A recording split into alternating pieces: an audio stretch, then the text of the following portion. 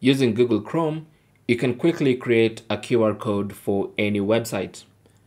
All you need to do is launch the browser and then open the website you want to create a QR code for. For instance, I'm going to open my website and with the website open, go to the address bar on the right hand side and click on this little icon right here. When you click on that, you should see this menu and from the menu, you have the option to create QR code. So select that and it immediately generates a QR code for that website and you can go ahead and even download that QR code onto the computer.